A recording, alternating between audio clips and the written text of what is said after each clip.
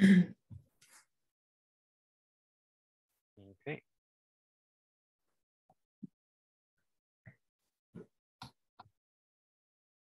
Welcome, everyone. Thank you for joining us. We'll give everybody just a couple minutes to complete signing in.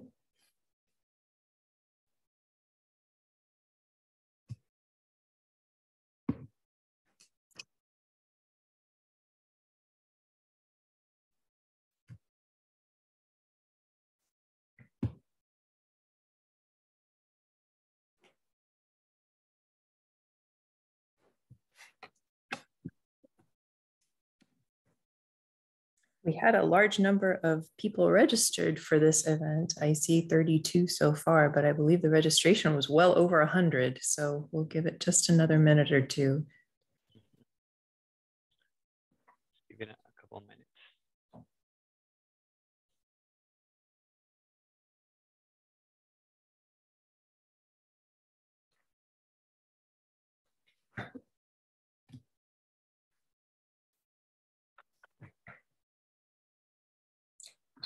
I just realized um, Janice sent me her bio, but I have it on. Well, that's okay. That that will be at the end of this.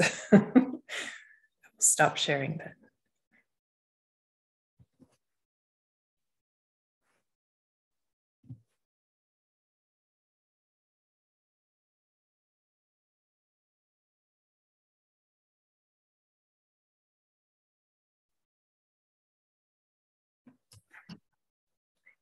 Okay, it seems like we're at 33 and that number hasn't changed for a little bit. Shall we go ahead? All right. Okay. So welcome everyone to Succulent Gardening. BAWSCA has hosted a number of succulent gardening classes. I'm very excited tonight to have Master Gardener Janice Moody here for our class. Uh, it is co-hosted by the City of Santa Clara and the City of Sunnyvale.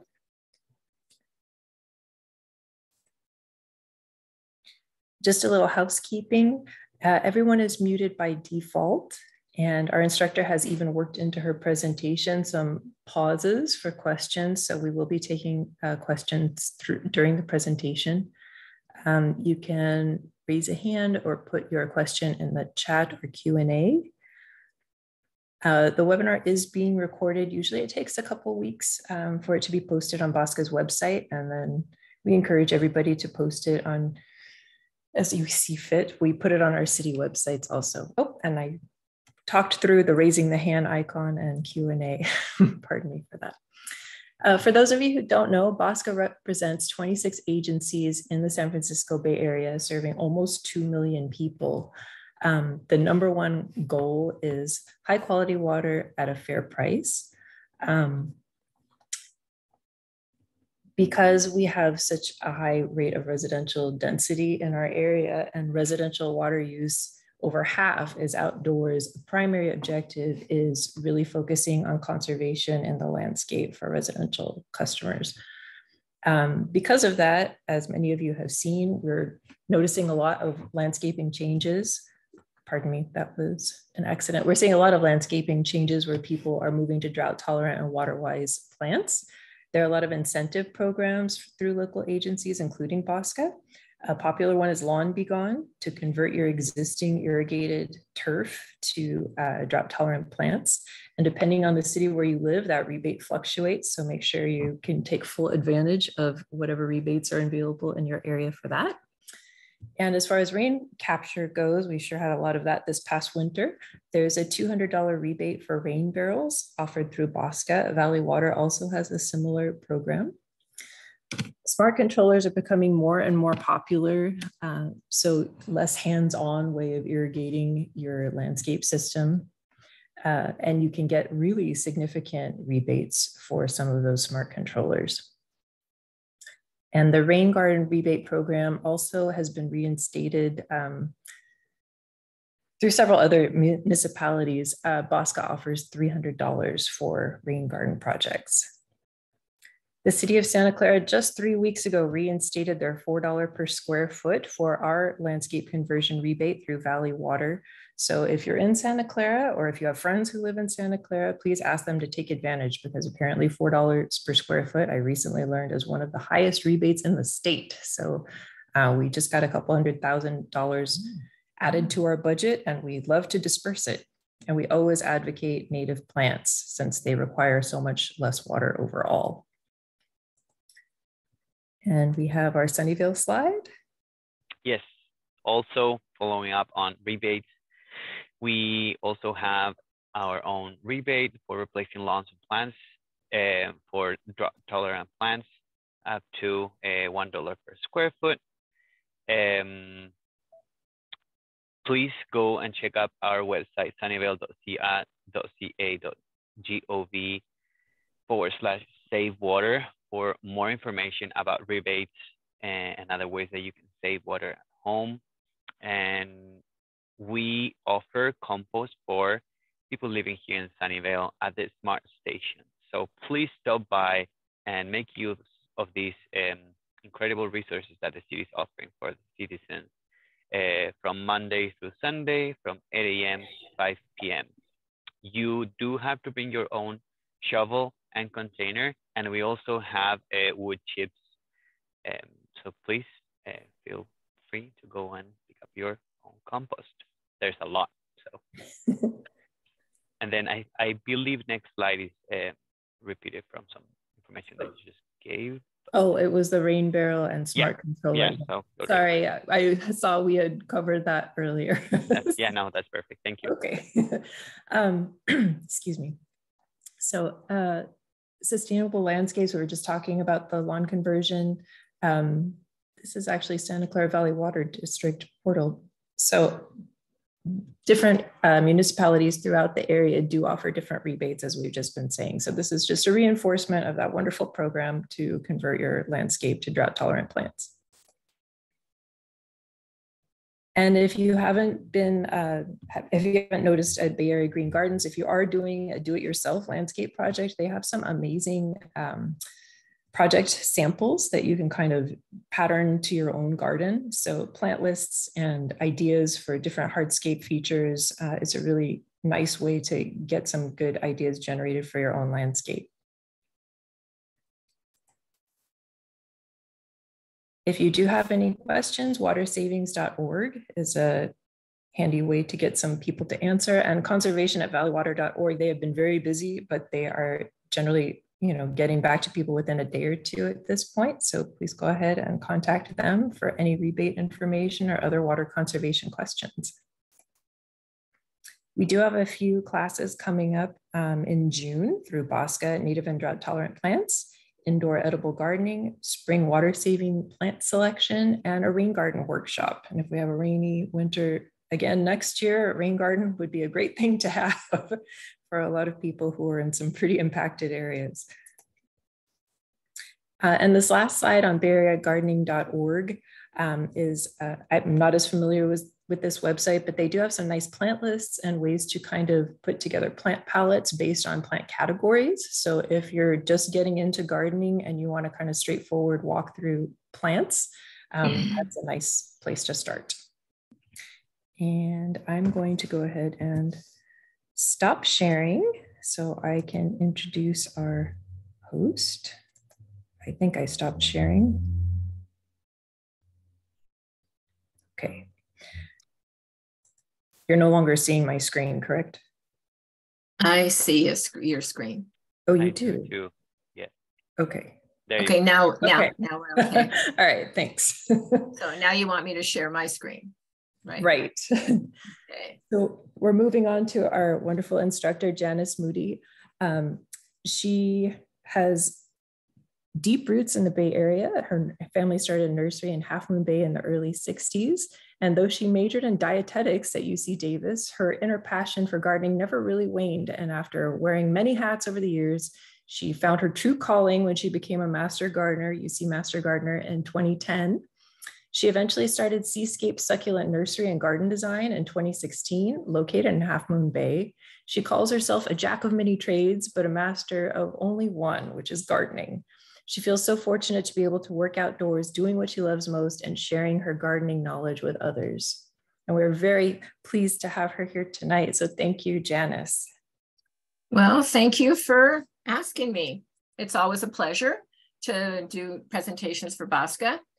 So um, you, you learned a little bit about me and I don't want to waste time talking more about me. So let's get started because, you know, I'm a senior citizen. I got to go to bed early, like some of you out there. Here we go. Um, and for some reason, uh, it's not, oh, finally, okay. so I have to let you know what who we master gardeners are, a little bit about us. We are volunteers trained and certified by the University of California to provide community service and educational outreach that helps home gardeners and community organizations garden sustainably and create a healthy environment. We have a helpline you can leave a message at any time of the day, and we'll get back to you during our hours. Uh, you can email us as well with photos of your problem plants, and we'll be happy to get back to you. You can also become a master gardener yourself um, just by going to our link. Uh, this is, I represent San Mateo and San Francisco counties, but you also in Santa Clara, you have a master gardener um, website as well. And I should have posted that here and I'm sorry I didn't, but just Google Santa Clara County Master Gardeners, go to their website, and that's where you can sign up for um, becoming a Master Gardener. It's about 15 weeks, one day a week, where you're taught by a University of California professors many times. And so you learn a lot in those 15 weeks, and then you get to share your knowledge and you can continue to learn. Uh, every year we are we're obligated to take so many continuing education units and put in so many volunteer hours. So it's a lot of fun, a great organization. So hope you can join us. So today I'm going to talk about um, this is what I, my plan is. I'm going to tell you about succulents. What is a succulent versus another type of plant? I'm going to discuss the growth factors, what makes them grow. There are several. Then we'll have a Q&A, and then I'll go into lands, landscape design, and we'll have another Q&A. And then we'll talk about care and maintenance tips. And if there's time at the end, there's a 13 minute succulent propagation video, YouTube video. And if we don't have time to watch it today, you can always view it at a later date with the link that I provided in the slides. And I believe that uh, normally the slide, uh, the slides are sent to participants um, afterwards. And I'm thinking that's the case this time. I'm not quite certain, but I think that's the case. So what I won't be covering are houseplants because they're a, they're a different animal. They, they will survive on indirect light versus direct light and they're potting and that you use a potting mix versus earth or soil from the earth. So they're they're grown differently. Um, I won't discuss container gardening because that's similar to houseplant care. That's potting mix versus soil and and and that sort of thing. Um, I don't discuss succulent art projects uh, or, and I touch on cactus a little bit, but not a lot because here in San Mateo and San Francisco counties, we're, we don't grow a lot of cactus. Where you are in Santa Clara County, you can grow more because it's a warmer climate. So I do touch on it a little bit. So let's start off with what is a succulent? It is a drought resistant plant that stores water in its leaves, stems, or roots. And here's some examples, for instance, we've got, uh, let me get my laser pointer working here. Okay. Um, stem, the cac a cactus carries its water in its stem. An aloe here, the spiral aloe carries its water in its leaves. And then over here, echeverias, they tend to carry their water in their leaves and stems, as well as aeoniums. So both Aeoniums and echeverias carry their hold their water in their leaves and stems. And then um, agaves tend to, I don't have a picture of agave here, but I will later on. And they hold water in their leaves, stems, and roots you normally, as well as these aloes do. It depends on the aloe, but um, they they can hold water in their roots because their roots are pretty ropey looking comparatively speaking when you when you look at agave and aloe roots versus aeonium roots or echeveria roots, you can they're visually much more prominent. And then there's some that hold water in just their roots, like elephant foot palm, which I don't have a photo of, and not too many people grow that. So I'm not going to discuss that very much. So what makes a succulent plant different than other drought tolerant plants? A succulent is a drought tolerant plant, meaning by definition in the Bay Area that it only needs watering once or twice a month during our dry months. So that's our definition of a drought tolerant plant. There are lots of drought tolerant plants out there. Uh, for instance, this phormium over here on the right, that's a drought tolerant plant, but it's only drought tolerant because of its deep root systems. So the, these roots go very deep and tap into the deeper water stores that's what makes this drought tolerant, along with many other drought tolerant plants that are available. Uh, native, California natives are a good example. They're very drought tolerant. They shouldn't need any water in a normal summer summer summertime experience um, because they've established deep root systems and they they grow during the winter months when we get our rains.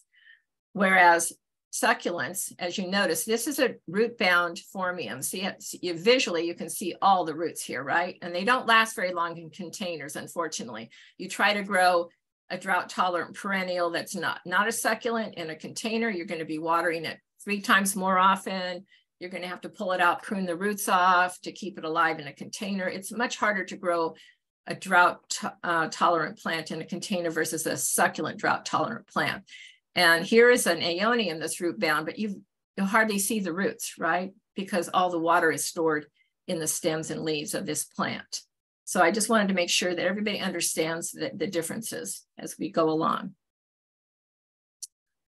So here's the pros and cons of succulents in the landscape. Pros are very drought resistant, uh, as I just said. They offer year-round color and interest, even when they're not blooming. See down below here, this echeveria, it's very colorful throughout the whole year, with even without the bloom. But when it does bloom, it's it's a real it's a real uh, spectacle to see. So they're they have beautiful blooms as well. Um, they are relatively gopher and deer resistant. I will mention a few exceptions to that in some slides, but relatively gopher resistant because their roots are not very visible and they're not they don't hold a lot of water, so gophers usually bypass them to seek out other, other plants that have much more water in their content, uh, water content in their roots. Um, there are exceptions to that, and that would be agaves and aloes. They have ropey roots, and so if anything's going to be attacked by a gopher, it'll probably be an agave or an, or an aloe. They're usually very easy to transplant, very shallow root systems that you can take a shovel and pop them out of the ground easily and transplant them very easily. They're easy to propagate from stems and leaves, which I'll show you at the end. They're easier to maintain than other drought tolerant plants in the landscape. I do far less maintenance on drought tolerant on uh, succulent gardens than I do other drought tolerant gardens.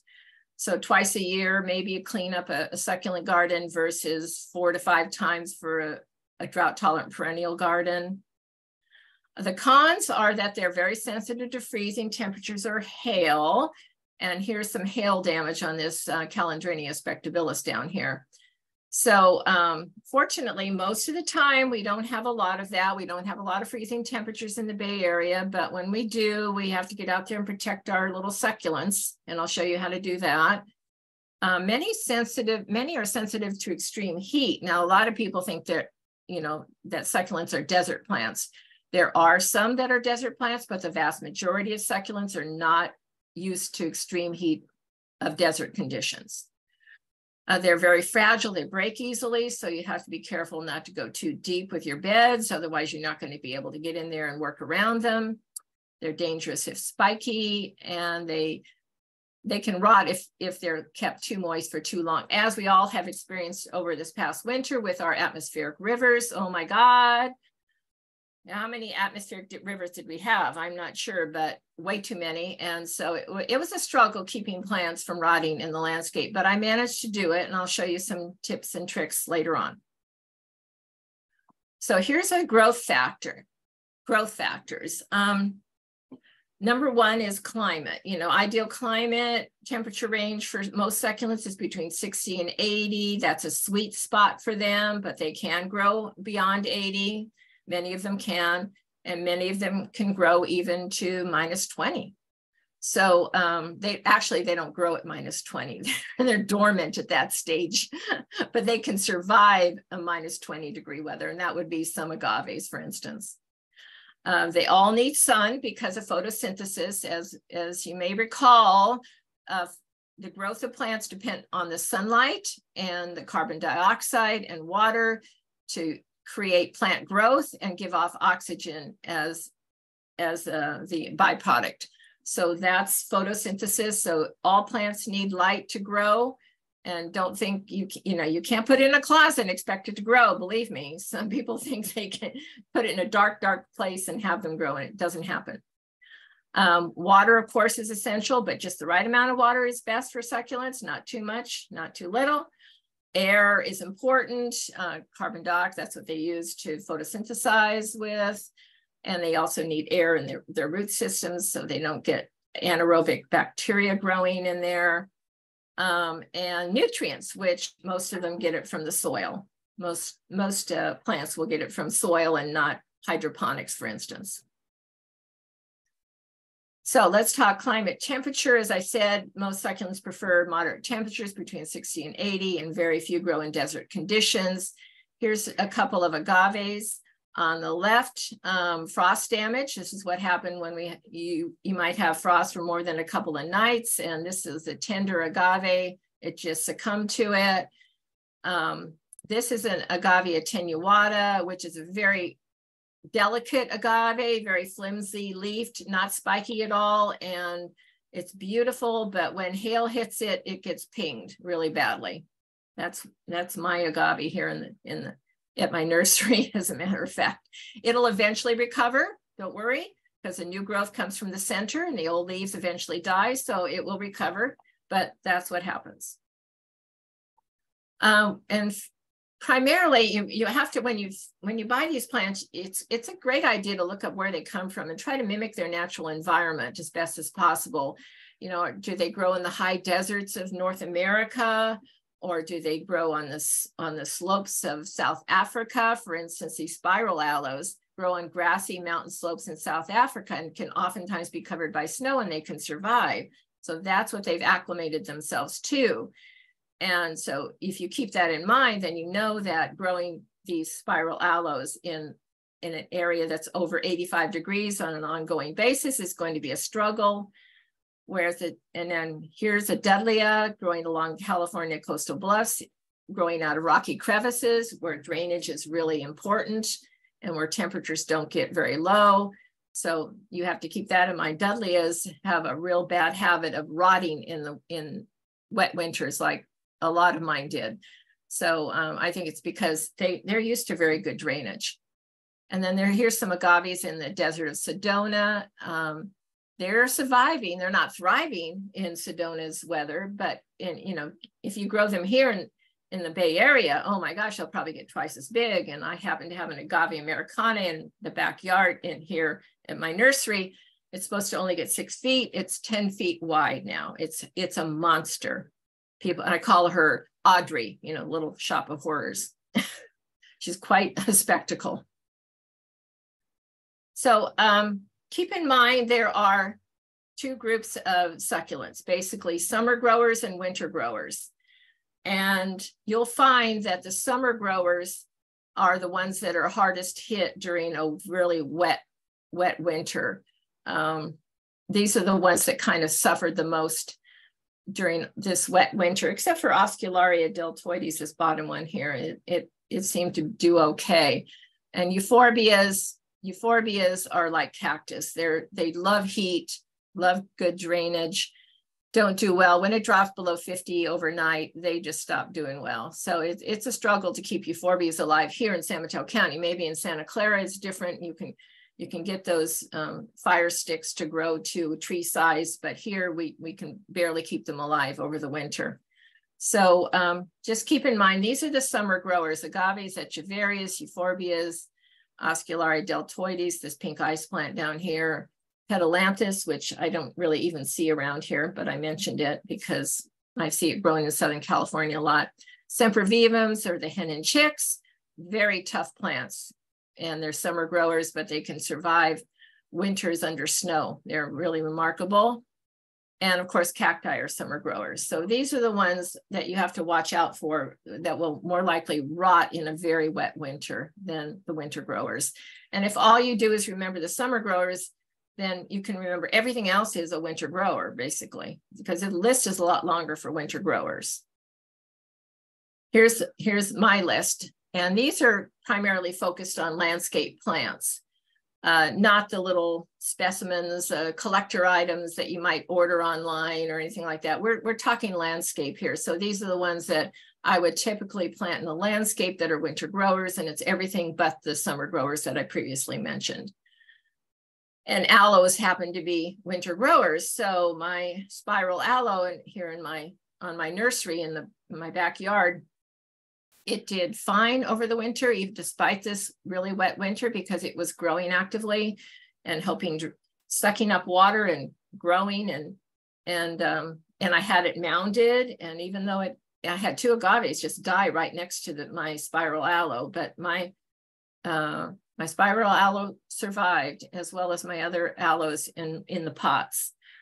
I threw out a lot of agaves though in pots and there's some some are more susceptible than others. The thicker leafed agaves are more susceptible to rot than the thinner leafed ones. Okay.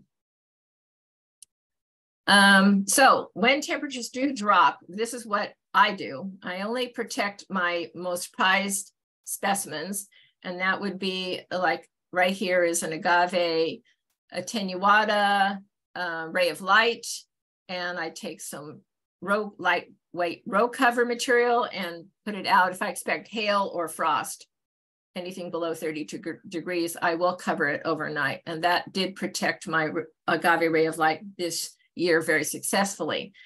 But you have to really be on top of the weather reports. And you can get the alerts sent to your phone too, which which helps. So do sign up for those um, those weather re report alerts if you can.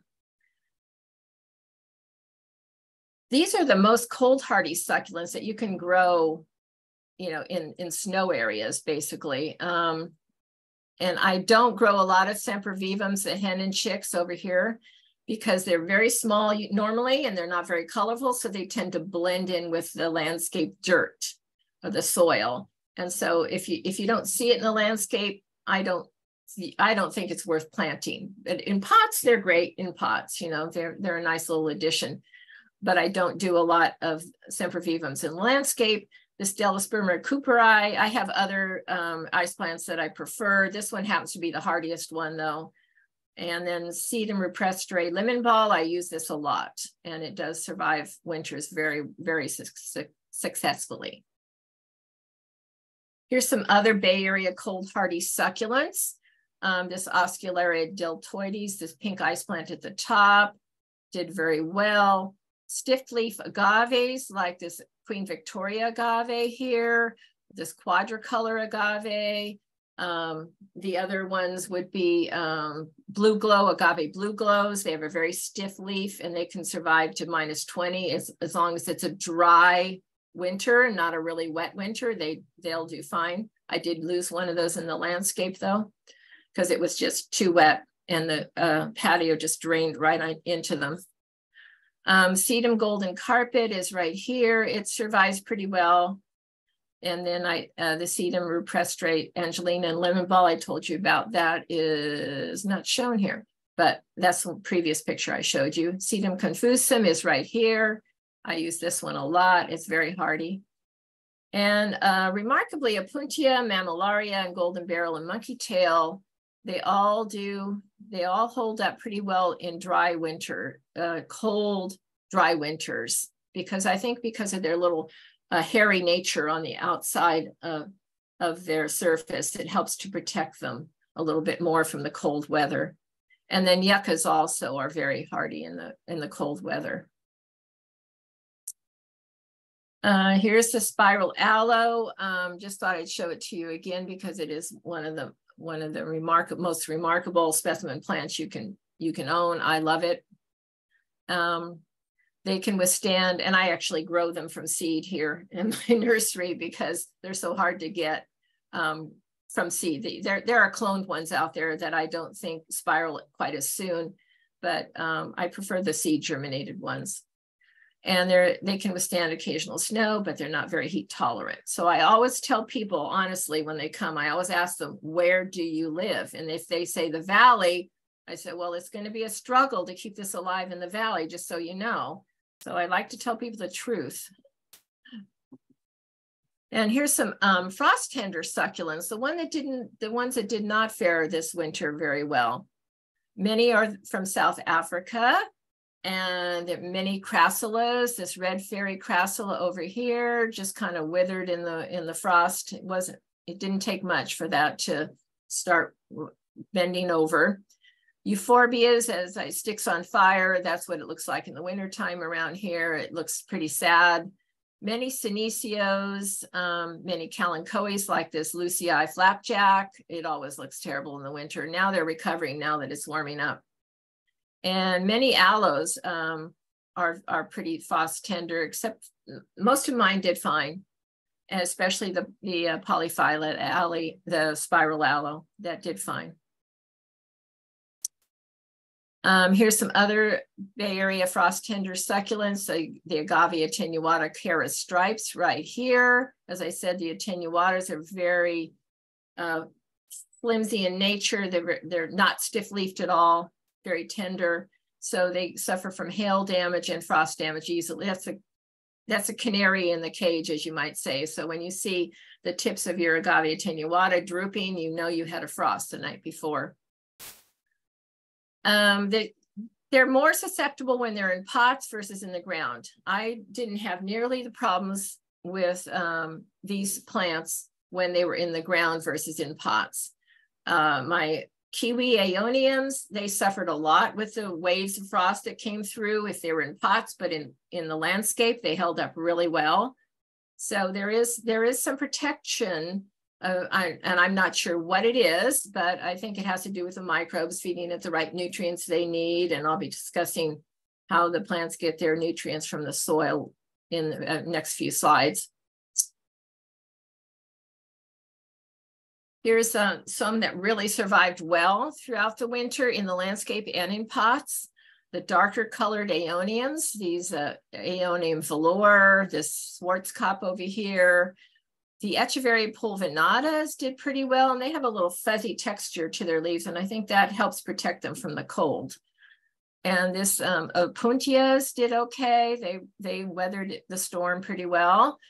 Um, Cotyledon pig's ears, sempervivum says, of course, they do fine. These two in the front.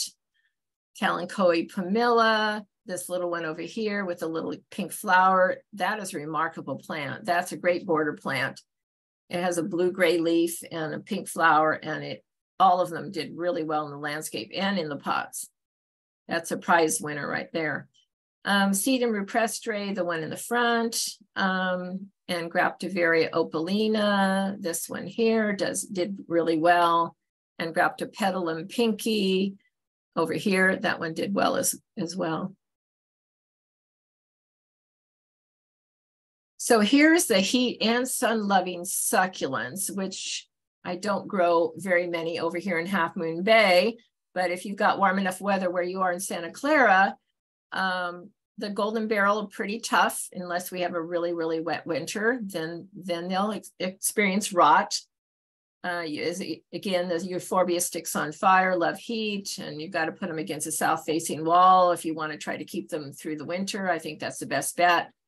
Opuntia.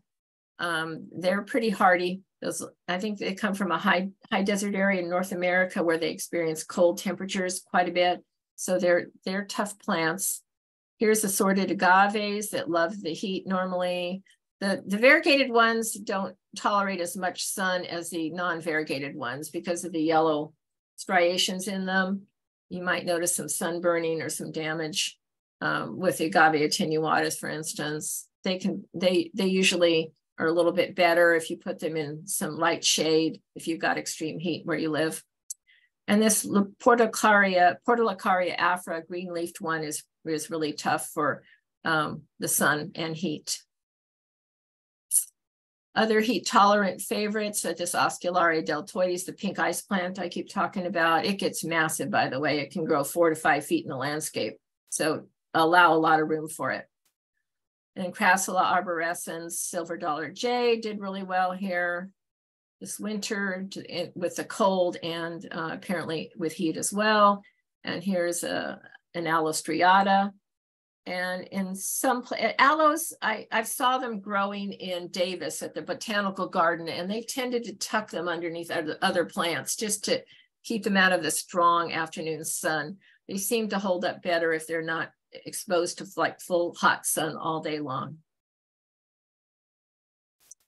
Heat and cold tolerant agaves.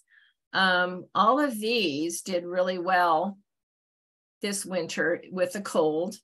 And of course, we don't have any heat, but um, all of these survived pretty well. The only exception would be this uh, retro choke right here, or actually, yeah, it, it tended to rot a little bit because the leaves are a little bit thicker in nature than all the other leaves. All these other leaves are thinner. This one has a thicker leaf and this one tended to rot a little bit more easily.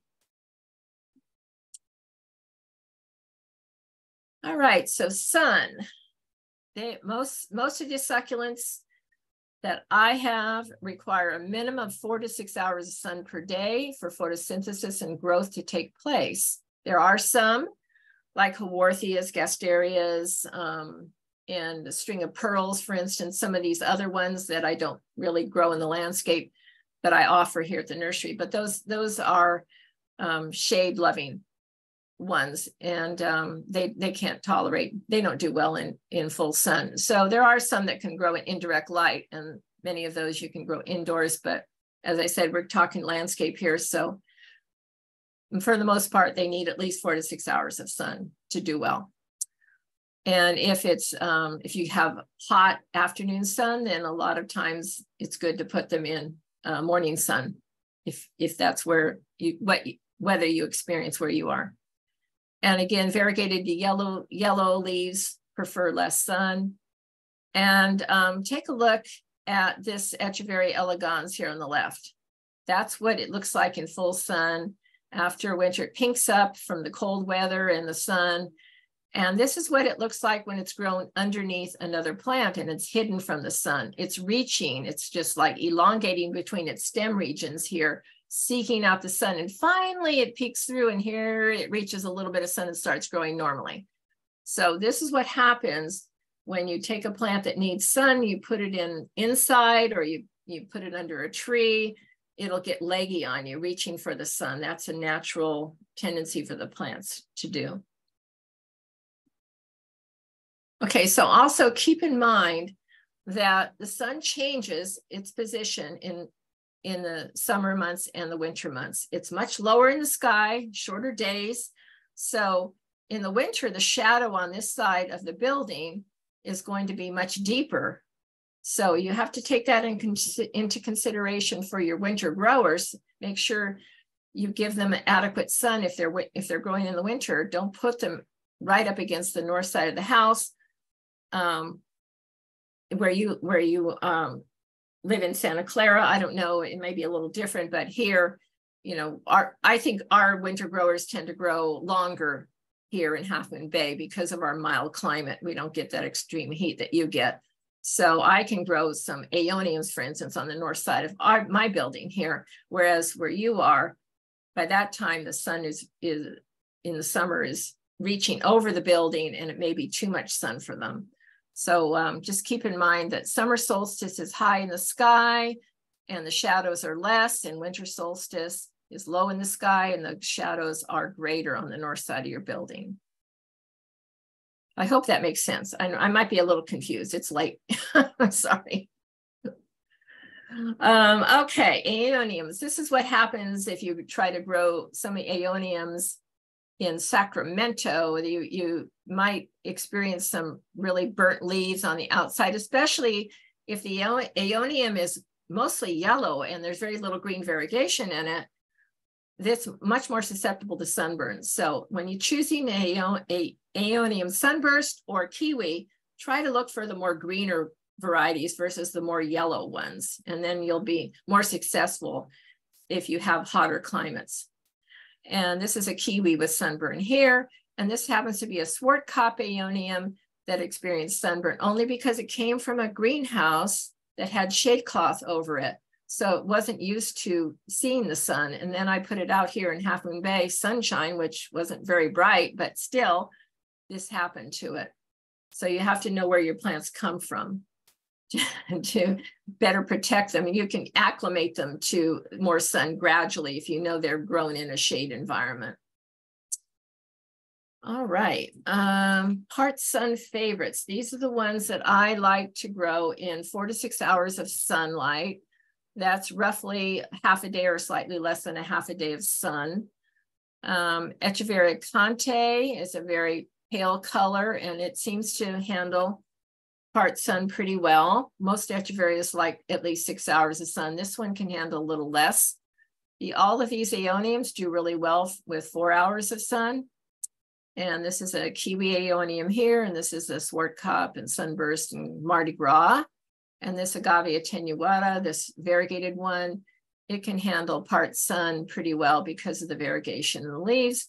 And here's another Portulacaria, Portulacaria afra variegata. This is a more yellow leafed one than the green leaf one I showed you before. This one can actually be grown in part sun versus the green leaf one prefers more sun. full sun favorites. Um, here's my garden and my demonstration garden. You're welcome to come back and take a peek at it anytime.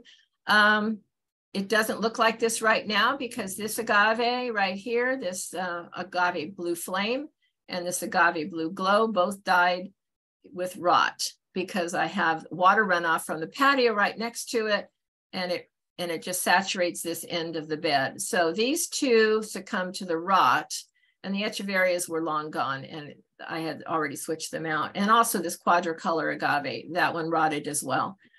So, um, and this was because of the excess drainage. Whereas I have these growing in my front garden uh, in a raised bed, like a 12 inch raised bed in the very front of my nursery, and they did fine.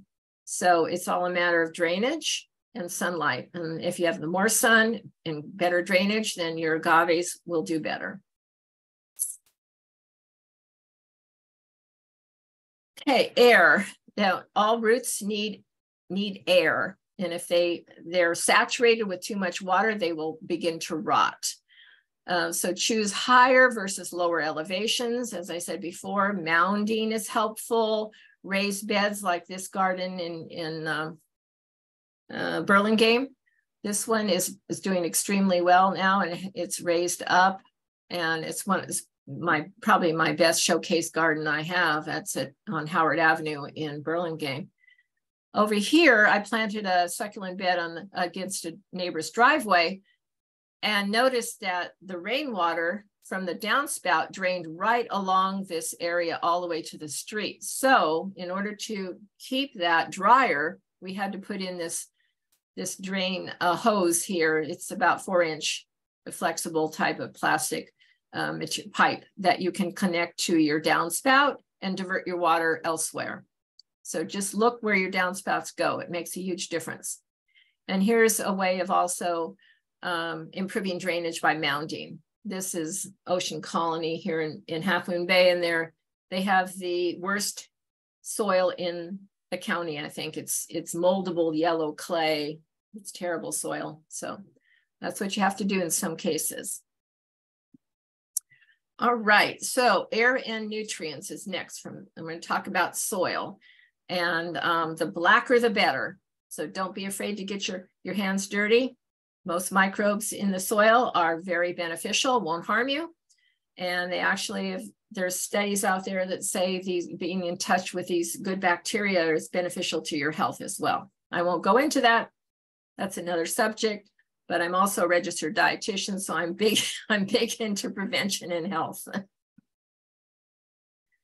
All right, so the carbon cycle. Um, we can reduce uh, the effects of climate change and improve soil health at the same time.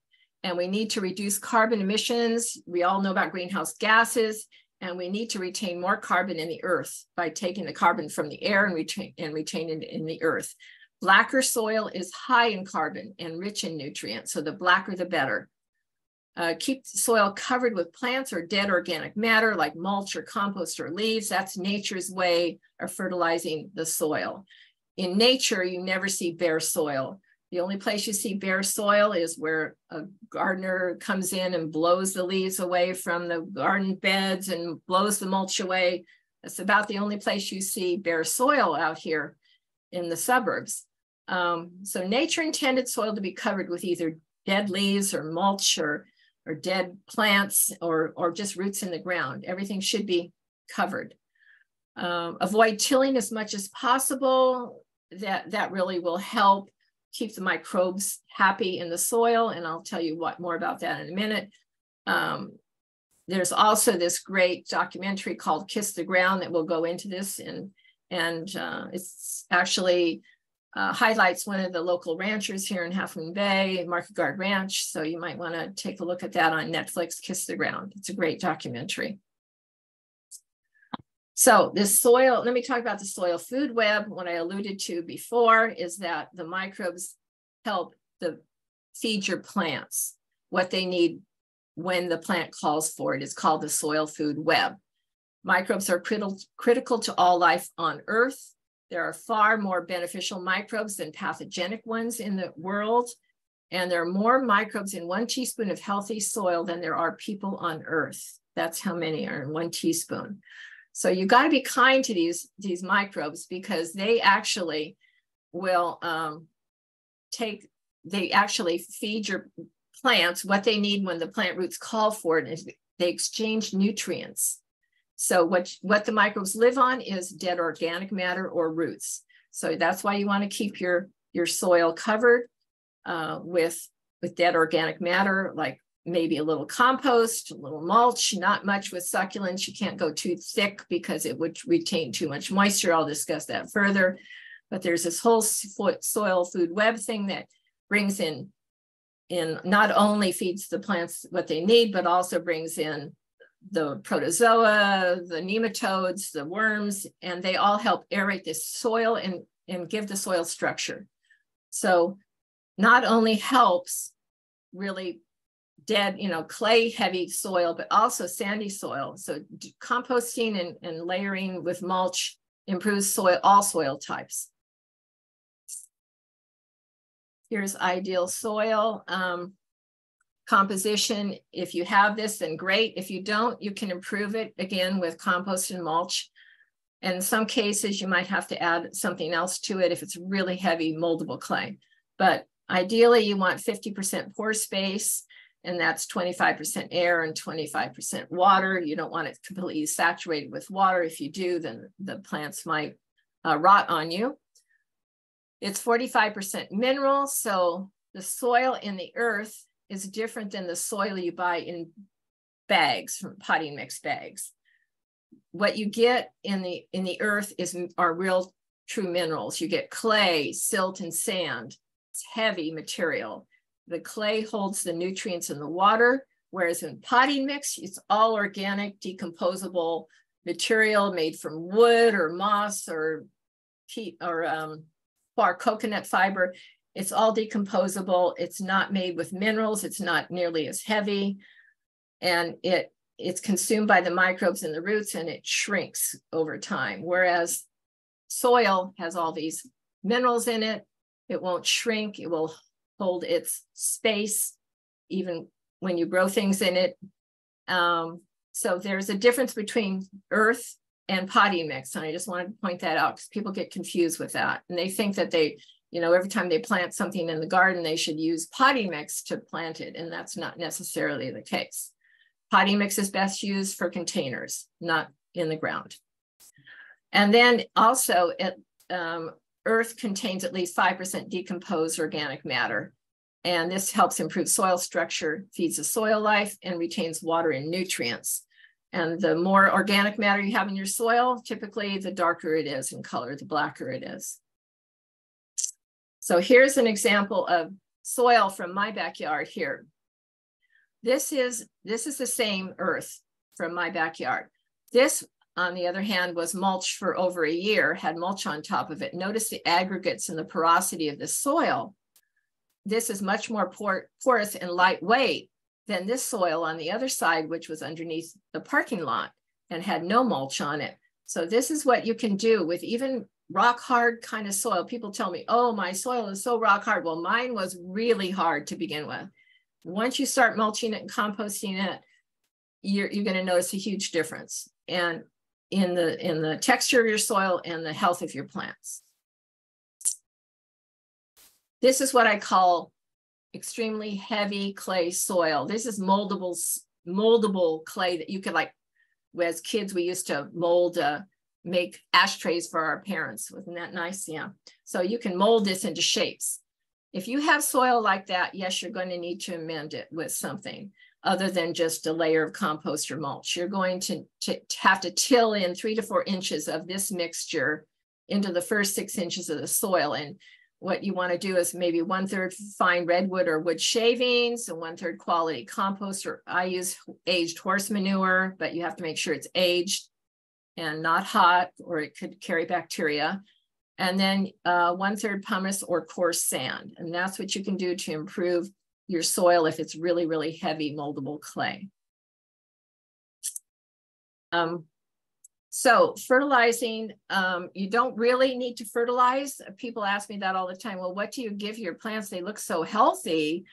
And I go, well, it's basically just horse manure and shavings. Um, and it's aged well, so it doesn't carry pathogens. That's really critical. Uh, that's nature's fertilization. That's the way nature intended it to be. We didn't start using synthetic fertilizer until World War II when people started throwing away all the nitrogen from the nitrogen bombs and they noticed, oh, everything's turning green and growing. This is great stuff. Let's start using more and more of this. Well, that it wasn't necessarily great stuff to use and we're regretting it now. Um, so we, we need to go back to nature. Nature has a plan and, and we need to follow nature's rules basically. And or you know organic doing organic gardening is sustainable and synthetic is not. Synthetic fertilizer is made with combustion engines. It's not sustainable. Um, organic feeds the soil life. So organic amendments feed the soil microbes which in turn feeds the plants indirectly not directly like like synthetic fertilizer and i realized that in pots it's a different different scenario you need you need some synthetic fertilizer in pots in order to keep your plants healthier um, because they don't have access to all the microbes in the soil. That's why. And so let's say, so, so synthetic, let's say you choose a five to two ratio of NPK. Uh, it feeds it directly and usually only contains the NPK, the nitrogen, phosphorus, and potassium, whereas whole organic fertilizers contain trace minerals and micronutrients. There's a lot of trace minerals and micronutrients in the soil that they just need to be released by the microbes to get, and given to the plants. So keep in mind, growth does not necessarily equal health. If you throw a lot of synthetic fertilizer out on your plants, you'll probably get a burst of growth, but it doesn't necessarily mean that they're healthy and resistant to diseases and pests. All right, so feed your soil, not your plants. This is the Master Gardener mantra. This is what we live by. feed your soil microbes. Don't feed your plants directly with synthetic fertilizer. And so this is what I do twice a year. I apply a half inch to one inch of quality compost or soil amendment or aged horse manure with shavings. That's I get this from a local vendor here in Half Moon Bay. He gets it from horse stalls that are not fed grass, so there's no weed seeds in it. That's another disadvantage to using horse manure is you could potentially bring in a lot of weed seeds. But if it's aged well enough and co composted well enough, those will be gone by the time you get it.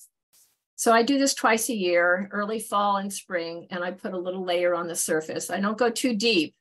You know, with other drought tolerant perennials, I would go two to four inches deep with mulch. But you can't do that with succulents because it would retain too much water in the ground. So I just go a half inch to an inch twice a year and my plants are really happy and healthy because of it, I think.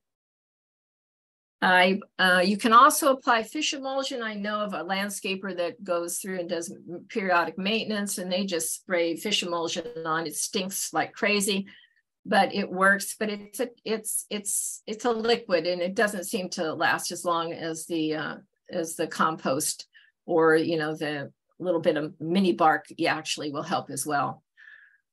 So, and other people can, you know, you can use compost tea or moo poo tea. Um, but again, I think those are best for containers and not necessarily the landscape.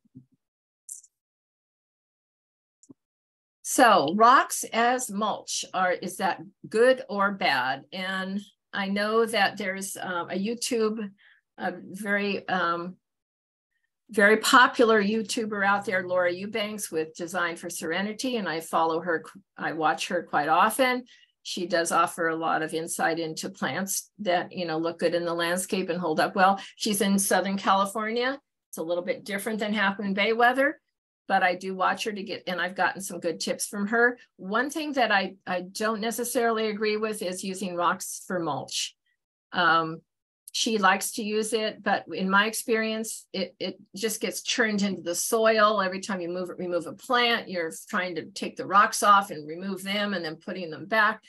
Plus, the primary reason I don't use them is because it's not feeding the soil life. You know, it's not dead organic material that feeds the soil microbes.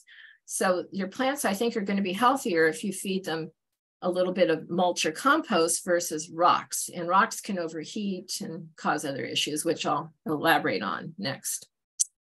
So yeah, the pro- yes. Oh, I'm sorry to interrupt. You had spoken about the moo poo tea, and we had a question in the chat about whether or not you can use cattle manure as fertilizer. Is that what your poo tea is suggesting? Actually, that's a brand name, Poo Tea, and I, I don't know where they get their their yeah, it's cattle. It is cow manure, but um, you know you have to consider the source of where it comes from, and most of its stockyard comes from stockyards. And um, yeah, I mean, if you don't eat it, I think it's probably fine to use. But um, yeah, um, I'm going to elaborate that on that a little bit further. I think in another slide. But I, I would only use that in containers primarily on, and not so much in the landscape. Okay. Thank you. Um, I, yeah, okay, sure. Um, rocks as mulch, pros and cons. So it, it does suppress weeds better than wood mulches, especially if you put weed cloth underneath the rocks. And that's the only time I would ever use weed cloth is if you're putting a couple inches of rocks on top of it to keep the weed cloth down. Because every time you use weed cloth and then you cover it with mulch, guess what happens? The weed cloth comes up on the edges and pretty soon the mulch decomposes and you've got weed cloth all over the place and it looks messy and it's, it's not a good idea. Um, the rocks are best for desert specimens that don't require many nutrients. Like if you want to do a specimen garden with a cactus and agave, then yeah, go for it. Use weed cloth and rocks and they'll probably be fine because they don't require very many nutrients. They're desert plants. Um, they can add design elements. They're fireproof, which is great because there's some people that out there that might be required by their insurance company to make your first 20 feet of your landscape next to your house fireproof and rocks will do that for you. Succulents also fit the bill. So I think that if you put succulents out there with just a little bit of mulch, they'll that'll pass the test, I'm thinking. Uh, depends on your um, fire agency, I think, or your insurance company, I should say. Uh, and they and the rocks can also provide a buffer zone for dogs. So if you have dogs walking along the curb that are always getting into your landscape, well, then if you have a rock border, that helps keeps the dogs off of your landscape. The cons are that, it, as I said, it can overheat the roots in hot climates. They don't feed the soil life. Uh, they limit the spreading of tapestry des designs. Um, if you're trying, if you put rocks around your plants and you want those plants to spread, it's harder for them to spread with rocks around them than, than a little bit of compost or mulch. And it also increases soil compaction. So that's another reason not to, not to use it, in my opinion. Okay, so watering. Um, now, a lot of people come to my nursery and they say, well, so these don't need very much water, right? And I go, well, not necessarily. When they're dry, you want to water them thoroughly. Don't just spritz them. Don't just run the hose over it a couple times like that. No, you want to really soak them to six inches in depth when you water. And then you want to wait until they're almost dry at six inches or dry to your finger and then water them well again. And this may be a shock to all you people out there, but I haven't watered my landscape plants since the first big storm in October.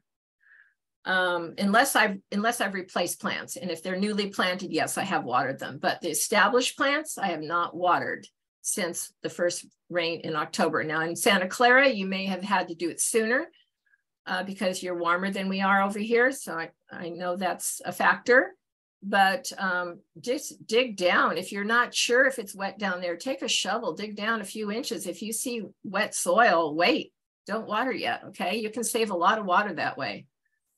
Uh, I use, when I do water, I use like a, um, a head like this that disperses a lot of water at one time with a shut-off valve right behind it so I don't have to go to the hose, the hose bib and turn it off. This is a moisture meter, one example. There's another one called X Lux that's very highly rated. X and then X and then L-U-X, that's how it's spelled. Um, and when you water, don't just don't just water half the plant with a little drip system. You know, a lot of people use these little spaghetti tube drip systems where the little tube goes to one side of the plant and then the next plant gets another little tube. And um, that that can take hours to water the area thoroughly and to water the entire root zone. A lot of times it only waters like half the plant. And so the roots tend to migrate towards the water on that side. So we we recommend watering with something like this, which has emitters built into the half inch tubing. This is called Netafim, N-E-A-F-I-M. Um, there are other brands out there that have the emitters built into it. And I usually, nowadays, I'm recommending that you use the subsurface irrigation, not the surface one, because then you're going to see this on the top of the surface of your soil. If you go subsurface down three inches, then you will you won't uh, see the tubing even when the compost or mulch is, is dissipated. So there is a subsurface particular brand that you need to look for and this is what I think Laura Eubanks also uses, the subsurface one. Uh, and then Foothill College recommended it as well. They go down nine inches, I think they said. And I think they do that because they have deeper roots, deeper root systems where their plants. But um, yeah, just make sure you you're watering the entire zone, not just each individual half of a plant. And uh, they you know the strips those little quarter inch strip lines they break all the time. If you have one leak over here then it affects all the rest of the landscape. They may not get enough water. I've seen so many plants die because of the broken drip lines. So you want to go hefty and, hardy with these as much as possible.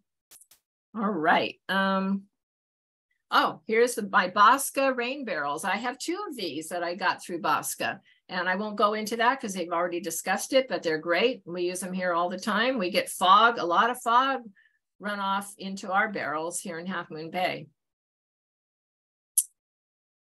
So um, signs of underwatering are um, shriveled leaves and dry dryness. So these leaves up here are definitely shriveled and these are definitely dry.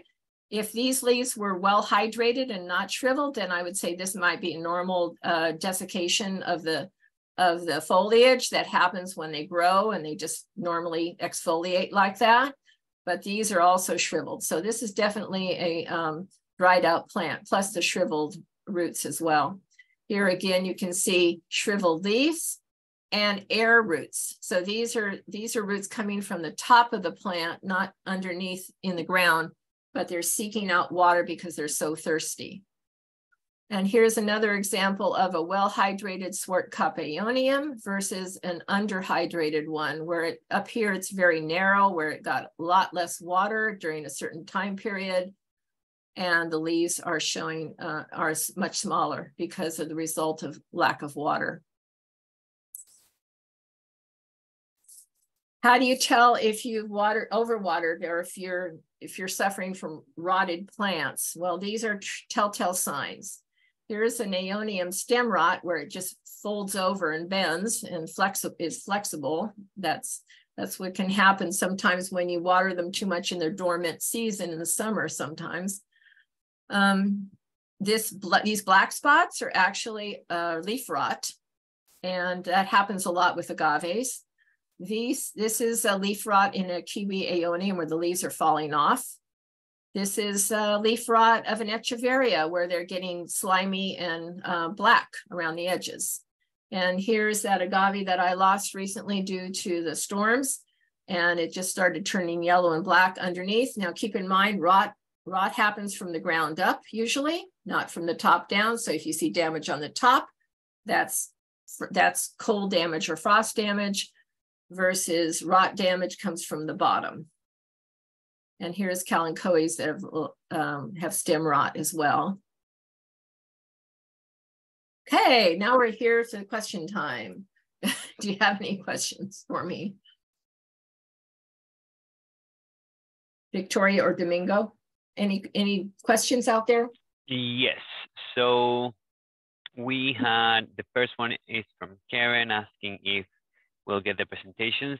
Yes, they will be sent out, though in a couple of weeks. They will get to your email. Um, you already answered the one about cattle manure. -huh. Then we have another one that Diana is asking if there is a way to get aeonium to branch out? Um, aeoniums to branch out will give them more space to grow. If you try to grow an aeonium in a tiny little pot, and uh, I'm hope I'm thinking that she's talking landscape here, not pots, but you know they just need room to grow and they need at least four hours of sun. And usually aeoniums will will start branching out and and doing quite well. Some are more shrubbier than others, and some are more compact, like an Aeonium velour, grows more like a shrub, doesn't have that arboreal look to it, whereas an uh, Aeonium Zwartkop tends to be more arboreal and tree-like in branches. So some stay compact and some tend to be more tree-like. Mm -hmm. Thank you. Um, Brian is asking if um, I think we you touched over these a little bit, but is there a good succulent ground cover?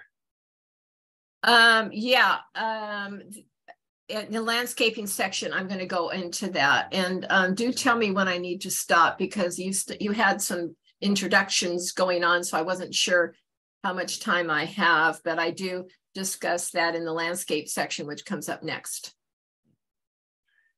Um, then Mary is asking if, um, can you share the best ways to propagate succulents? That YouTube video that I'm going to show at the end, I probably won't have time to show it, but uh, there's there's the URL there that she can follow or Google Janice Moody succulent propagation YouTube, and you'll find my YouTube and you can watch that. I think this is a rather, it's a more, I don't know, personal or taste question on how you relate to your succulents, but how do you decide, do you decide layout for color, height, distribution? Yeah, that's in the next section of design. Uh-huh. Perfect. Yeah, okay.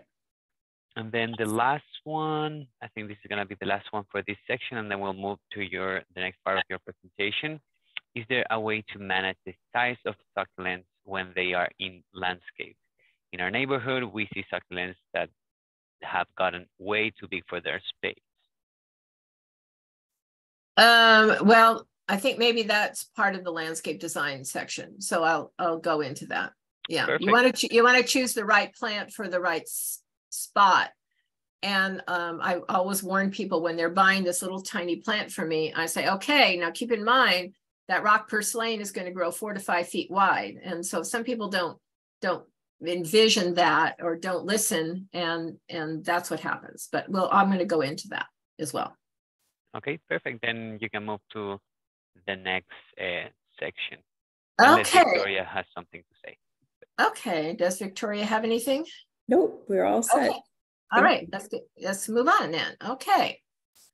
Uh, landscape design. Um, this does not happen to be one of my designs. Uh, I do garden designs as well as have the nursery here, but this is a neighbor's and I asked permission to show it. It's, it's a beautifully designed garden and I'll, I'll highlight it a little bit more as I go through the slides. Um, first, let's talk about garden size. Um, as I said before, they're fragile and shouldn't be walked on. So you need to create pathways or have stepping stones or not make them too deep so that you can't reach them from all sides. Uh, in this case here, this, that garden you just saw my neighbor's garden, she created pathways in her garden so that she could access all the plants easily without damaging others. It, it was well, well laid out and designed. Uh, here's, I had a client who had a disability and had to carry an oxygen, ox, oxygen tank with her to do her gardening. So she put in these steps in between. So she had a place to rest and that worked out well for her. And then this other client decided to put little stepping stones that look like footprints in her garden. So there's all different ways of, creating pathways and steps to access your plants. Here in the front of my place, um, you may not notice it, but I have like a foot of space behind this garden that I can walk behind and and actually weed and, and trim plants and that sort of thing from the rear as well as the front. So this is a sidewalk in front. And then I have a foot of space in the back. And note I put up a 18 inch wire fence around this initially because I didn't want the dogs jumping into it. So if you put up a little 18 inch wire fence, that really helps keep the dogs off of your landscape. And across the street in Kitty Fernandez Park, I planted this. Now it's much bigger but this is accessible from all sides. So, and it's raised beds, so it's ideal for succulent garden. So design basics, I'm going to talk about um, color, contrast, shapes and textures, and heights and layers. And I, I think I'll be able to get through this with, within the hour and a half that I have. Now, if, and I'm not sure we're going to get to maintenance or not, but we'll, we'll give it a try. I'm going to, I talk fast, so let me get going. Um, color wheel. Basically, when I design things, I usually use complementary colors that are across from each other on the color wheel, and they that makes them tend to pop in the landscape. But a lot of times I'll go with warm or cool colors. If I want a warm palette, for instance, I'll choose the red, oranges, and yellows on this side of the color wheel. Or if I want a cooler climate, ocean colors, for instance, then I may go with this palette and it, it's more of a pastel color palette that also looks great. So it all depends on what you want your landscape to end up like, and I'll show you some examples. Here's a similar hue and cool colors. So this is more the pastel here and the cool colors on the right. And this is that agave I told you about that's supposed to only get six feet. It's now 10 feet in my backyard. So be careful what you wish for. Um, here's an echeveria and, and surrounded by oscularia. So that's also pastel, kind of similar hue and cool colors. Now here's a warm, warm color palette, which is greens and oranges and yellows. And that's, that's also very pleasing to the eye, I think. And then there's complementary colors, which really pop in the landscape. And I'm also a big fan of this. So I, I tend to use a lot of things. If you look at the color wheel, your opposite of green is red, and those happen to be Christmas colors. If you ever wondered why green and red look good together, it's because they're opposite on the color wheel. Uh, yellow and purple look great together. Here's yellow and purple combination, and it, and it looks wonderful in the landscape. Um, here's also a purple yellow combination. And then there's also a blue orange um, right here. Here's a blue orange color combination that looks striking. And this is a friend of mine, her uh, Cynthia Nations. She's a fellow master gardener. This is what she did in her backyard. And she's got a lot of complementary colors going on here, a lot of pops of color. And I also tend to use contrasting brightness. Um, so I tend to use this Phormium Black Adder quite a bit. And this is a container, but I also use this in the landscape quite a bit. And I plant this with the yellows and, and because you need a little vertical nature in your in your landscaping. It's hard to get that with succulents. There are there are some that are that tend to be a little taller in nature, like some yuccas and some aloes, for instance. But for the most part, you know, you're lacking this vertical texture and and and height. So I use phormiums and or cordylines a lot. And this happens to be contrasting in uh, brightness. And as well as the Zwartkop, I combine the Zwartkop a lot with the sunburst and the uh, Aeonium Mardi Gras. You also want to vary the shape and textures in your garden. You don't want them all to be the same texture. That would be pretty boring. If you use, if you had a garden full of aeoniums, I think that would be pretty boring after a while. You want to mix it up. Try to use as many textures and, and shapes as you can. For instance, this, this Echeveria combination, has, even though there's two Echeverias, the Oscularia lends a little diversity in shape here. And then over here, um, the phormiums add a different uh, shape and texture to this to this landscape as well, as well as the agave gives that agave gives you the vertical uh, nature that you're that you're looking for. Um, and here in this uh, Ruth Bancroft garden, here's a lot of use of um, vertical, the cactus in the background and this um, agave in the foreground. Uh, that lends a lot of diversity to the landscape. And um, here's some other colorful companion plants that are not necessarily um, succulents. Uh, leucadendron I use quite a bit as a, as a backdrop. If you want something with height and pops of color, then a safari sunset is great, or this safari gold strike. And lately I've been using a lot of uh, leucospermums because they have a, they're a pincushion flower. They're a really bright pincushion flower that's also a great backdrop if you're looking to fill a deep bed, for instance. And this is a Phormium Golden Ray. I use this quite a bit. And this Cordyline Electric Pink is also a great one and looks great with certain pink hues. Um, and this, oh, Beschorneria Yuccoides Flamingo Glow. This is a new, a new favorite of mine, and it's considered a succulent because it holds water in its core. Uh, it's from the yucca family, and this beautiful flower, it's just gorgeous. So this is one of my new favorites in the garden. And you probably all heard the expression thrillers, fillers, and spillers. I did not coin that phrase. That's been around a long time. I don't know who started it, but it's typically used for container gardening, where you want to put something with height or something that pops and draws your eye to it. That's called your thriller. And then you want something lower around the thriller at, to act as a filler. And then you want something to spill over the container, if it's a tall container, for instance. And in the landscape, you can you can adapt this same um, same theory to the landscape by calling your taller plants your thrillers.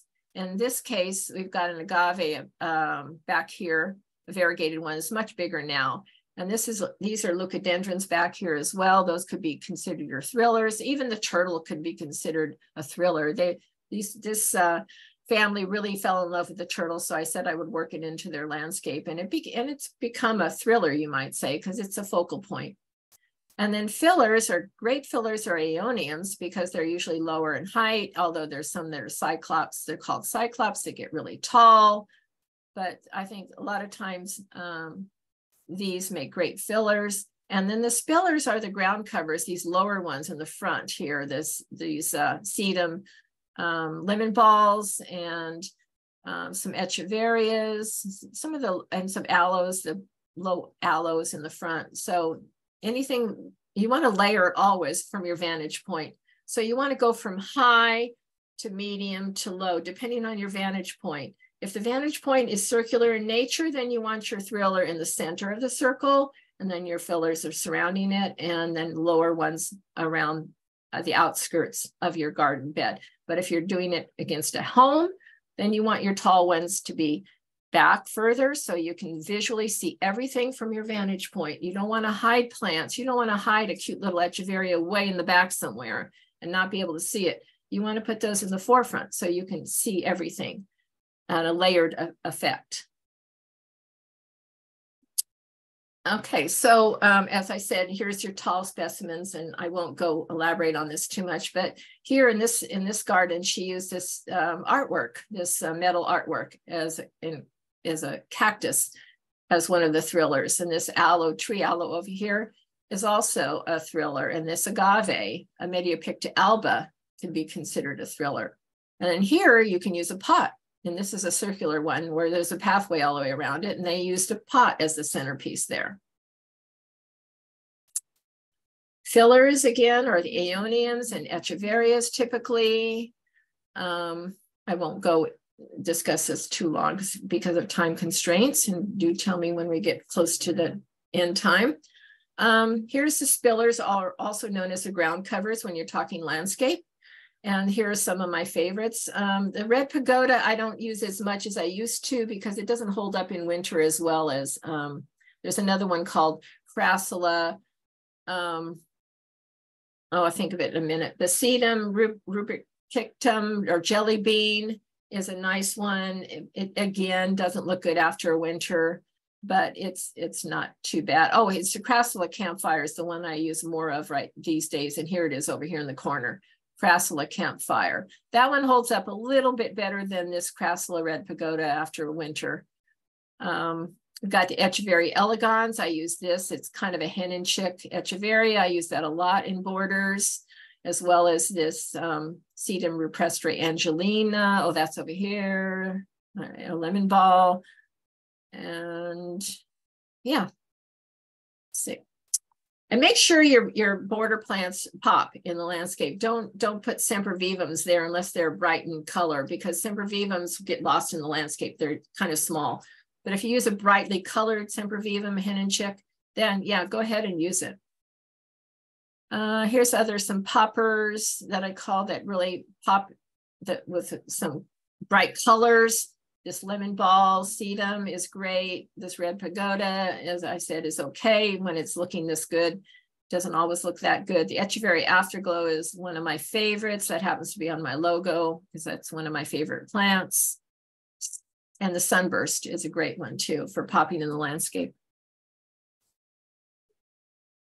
So succulents for large spaces, someone asked about how do you avoid overplanting? Well, you gotta you gotta do your research and ask the nursery or ask or do Google it and say how big does it grow? Hopefully it'll give you an accurate answer because um, this calandrinia right here, rock purslane, one little plant will grow that big and that's about four feet or five feet in width. So you have to give it a lot of space this torch aloe here, it starts out maybe a foot high and then eventually it builds upon itself and it can get six feet tall. And here's some other ones of my favorites. Cyclops aeonium gets about four feet tall. Agave americana mediopicta, um, four to five feet. And I won't go into all these because they're listed here, but just keep in mind, do your research before you start planting. We have about five minutes left. Okay, I probably just get through the landscape part, and um, maybe they can just read the um, the maintenance tips. Or, you know, you can they can get the slides and and gather the information they need from those slides. And and they and they recorded. I have another recorded session at Lyngso Garden Materials that they can always watch. That includes the care and maintenance as well. Um, so this is these are my demonstration gardens. Come take a peek anytime you want. In the uh, this these in the back, but I also have some in the front. Um, yeah, so that's my demonstration garden in the front. Uh, this is to the front, and this is the park across the street that I recently planted. And here's my favorites.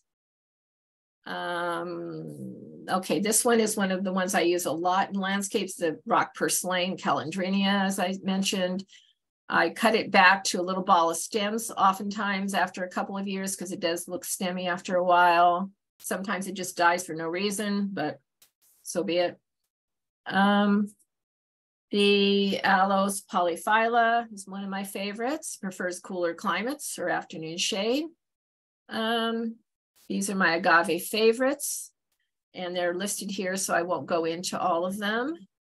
These stiffer leafed agaves, just take note, the stiffer the leaf, the slower the grower, but the hardier they are in the wintertime as well.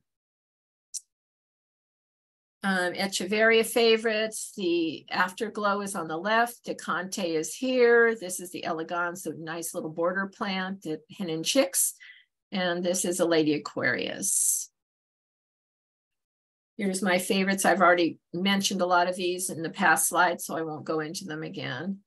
And here's my ground cover favorites for those people that asked about my ground cover favorites. They're all listed here for you. Pollinators, if you want pollinators, here's a chart that you can look up.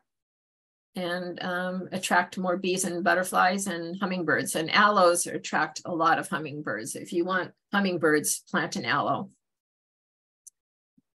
Okay, um, so I don't think we're going to have time to do the care and maintenance, but everyone can read those slides or they can watch my presentation that I did for Lyngso Garden Materials a couple of months ago. All right. We did have a few additional questions. Uh, one of them you just addressed with the habitat plants. Somebody was asking, um, do succulents create useful habitat for local bees and birds? And you did mention about the aloes for the humming hummingbirds and some others. Yeah, um, aeoni, by the way, aeoniums, uh, when they bloom, they're beautiful and they attract a lot of bees too. Excellent. Mm -hmm. And we have a question Can heavy rain cause an agave to bloom earlier than it should? She had one bloom after the rains, two bloom after the rains this past winter at only two years old. Oh, an early death. Oh, um, well, it may have been a couple of years old before she planted it, perhaps because typically I, you know, I don't see agaves. I see agaves living about five years or or more. I mean, the century plant, the one in my backyard that's 10 feet wide, is called a century plant and it lives 20 to 30 years. and then when they bloom, they die, unfortunately. Right. But they but they're prolific puppers. They're constantly pupping and giving babies off. So yeah. and we had an additional question. I think this is the last. What are good complementary plants for barrel cactus? I don't plant barrel cactus very often. um, wow. Well, I, you know, if you want to keep with the with the cactus kind of desert theme, you could do opuntia. You could plant an opuntia, taller opuntia behind it um, I, I, you know, I'm sorry, I'm not that knowledgeable about cactus because I've never even, I think I planted one cactus in the years that I've been doing this. So I have them for sale, mind you, but I don't actively use them in our landscapes in Half Moon Bay, unfortunately. Oh, she was clarifying that question with uh she was thinking a ground cover to accompany the barrel cactus maybe a oh, ground cover. Ground cover. Oh i that's rough. That's hard. Because you don't you don't want it to spread very very quickly into your into your barrel cactus because then getting getting those plants out from un, you know entangled entangled in your cactus is rough. So maybe something like an echeveria elegans that spreads slowly and doesn't is not as invasive as like a sedum rupestre that would probably kind of get in the crevices and be hard to clean out. Yeah it's hard. It's a tough one. Thank you she says. Okay. And i think that's it for our questions in the chat. Okay great. Yeah so we don't have any more time to do care and maintenance, correct? We're not going to be doing that. Um, I mean, our class technically ends at 7.30. If you would okay. like continue or if others would like to stay, that's up to you. Um, I'm okay if it's recorded and people can benefit from it. You know, I it doesn't take that long to go through the last slide. So if you want me to, I can. Well, that that's your choice. okay. Uh, yeah. Uh, it's not bedtime yet, almost. So we'll okay. keep going. All right. Okay. Here we go. Um, we're going to talk about plant maintenance and pests in this segment. All right. Um, we're going to discuss removal of lower dead leaves. That's a natural process that lower leaves just naturally die off and new leaves appear from the apical tip of the plant. Um, talk a little bit about transplanting, dividing, discarding or sharing, and pruning back and deadheading spent flowers. Uh, this is what an aeonium looks like, especially in the summer months. You see a lot of dead leaves, and all I do is yank them and pull them off, and it, they look good again. It's it's a normal gr growth process. Sometimes, you know, they could be too dry, but most of the time it's just a normal growth process. Transplanting succulents is easy because I said before, the, shell, the roots are very shallow. Take a shovel, hit them with a shovel. They come out really easily and easily moved. They don't suffer for it at all. They don't ha have an acclimation period like another drought tolerant plant might, you know, with deep roots, those are much harder to transplant. These are much easier and then dividing them is also very easy. Um, yeah, here's, here's how you divide uh, pups from, let's say, an agave. Agaves are constantly pupping at the stem area around here, or they send out a, a stolon like this and can travel several feet from the plant, and then you can just pull them out.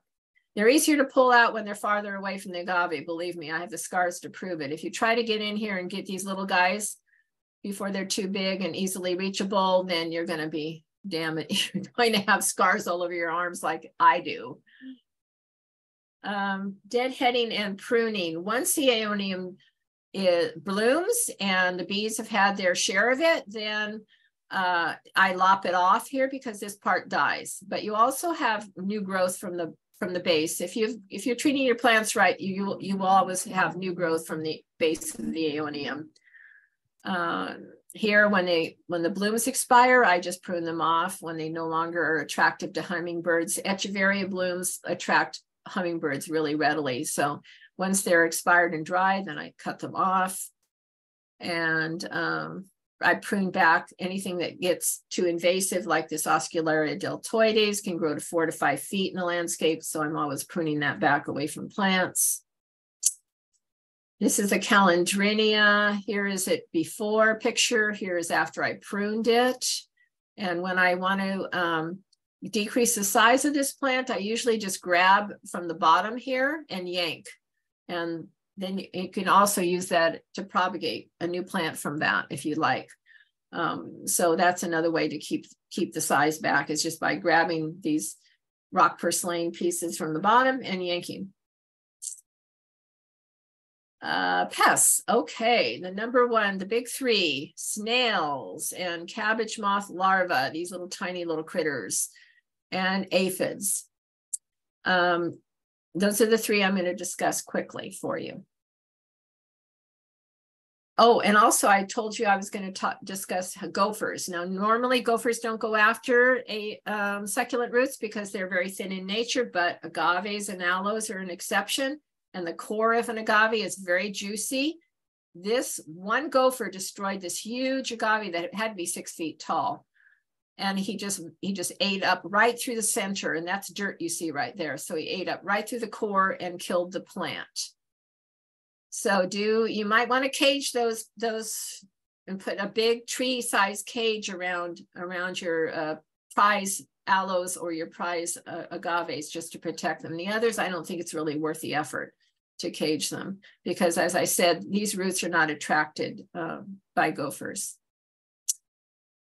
Deer damage is rare, but I did see this when the deer were extremely hungry and thirsty. They did eat this blue flame leaf, uh, like an artichoke leaf. That rarely ever happens, though, especially this, the spikier ones. They will not touch the spikier ones. Snails and slugs. Um, so here I went out one night with my headlamp on and found about a dozen snails all over the Senecio. And you can also tell they've been around by the little notches they take out of the leaves here. So that's a that's a telltale sign of snails. I won't go into it, all the, the little things you can do here, but it's listed for you. And usually I go out at night and hunt them down and squish them or feed them to your chickens. That's a better option. If you've got chickens, they chickens love snails or give them to your neighbor, neighbor's chickens. Um, you can also sprinkle iron phosphate uh, bait that's um, harmless to animals and children and so forth. And that's something like Sluggo. Not the Sluggo Plus, but just plain Sluggo has, is, is a iron phosphate. And it's the safest one to use. Aphids, normally aphids in the landscape are not a big issue for me. This year was an exception. I think it was because we had all that heavy rain and all the extra foliar growth and all the aphids were being knocked off continuously from the plants with the rain. And then when the rain stopped, oh my gosh, they invaded the plants terribly, especially the flowers. You'll see them on the Echeveria flowers first. And, you know, you can try various things to, to keep them off, but I usually just pick those flowers off to keep the aphids from spreading. Uh, spraying them with water, sometimes that works, but um, sometimes they're really sticky and they, they doesn't come off with, with water. So I usually just pick them off and then compost, put a little layer of compost down because the healthier the plant, the more resilient they are to pests. It's been proven, there is scientific proof to that subject. Keep them healthy. This leaf rolling larvae, this little cabbage moth larva, it, it takes this apical tips right out, makes a little webby webby area here and they hide in leaves and rolled up leaves. So you have to kind of hunt them down. And usually if I see evidence like this, I, I hunt them down and find the leaf they're hiding in and then no more problems. Or you can spray with a BT, a Bacillus thuringiensis, BT it's short for. Um, and that's not harmful and that's safe to use as well. And, but it all comes from this little cabbage moth. He lays the eggs and then this is what happens. And here it is again, this, if you see a lot of webbiness in the apical tip of your aeoniums, that's more than likely a leaf rolling larva like this, and you just have to hunt them down. Okay, and then that's my propagation video that I'm not going to show, but you can watch it on YouTube later and I and then we just keep and then I can that's it. And I want to thank uh, everyone, BAWSCA, the host, for for sponsoring this. And I hope you walked away with um, more knowledge than you came with in the beginning. There's also some slides in the end showing you the hours that we have available for our you know on-site visits to master gardeners. You can ask us questions, on site if you like, or just through email or phone, as I said before. Uh, this is for San Mateo County. I apologize again. I should have put the Santa Clara County information up there, but you can find this by Googling Santa Clara County Master Gardeners and get the same information. And there's my references and so acknowledgements. Okay, well, um, thank you again. And any additional questions? Oh, looks like one just popped up. Oh, so Joyce said, wonderful. Thank you so much. And thank you for staying a few minutes after. It was worth it. Oh, okay. I'm glad. I'm glad. okay. You're welcome. It was, it's always a pleasure. I enjoy what I do and I should have done it my whole life. I regret not doing this my whole life. Well, you've made it sound very appealing. So thank you for your enthusiasm. It was a wonderful presentation and I did learn a lot. okay, great. I talk fast. Yeah. All right. are we are we done? Yes, yes. Well, thank okay. you everyone for attending and the presentation will be distributed in the next couple weeks. And thanks again, Janice Moody. All right. Take care. Good night. Happy gar happy gardening. happy gardening. Yes. Thank you, Janice. Thank you, everyone. All right. Thank you.